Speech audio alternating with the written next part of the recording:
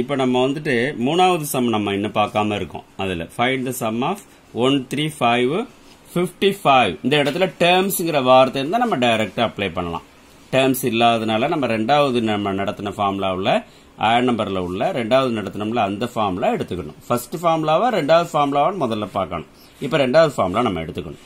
N is equal to l minus a divided by d plus ஒன்று எல்ன்றது last number fifty five எழுதியாச்சு.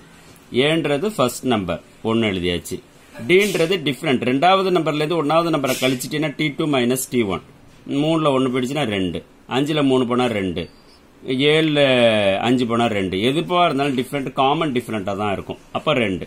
அந்த ரெண்டு எடுத்து எழுதியாச்சு. ப்ளஸ் ஒன்று ஃபிஃப்டி ஃபைவ்ல ஒன்று போயிடுச்சுன்னா fifty four by two two two sir four reminder ஒன்று ஃபோர்டீன் இருக்கும்.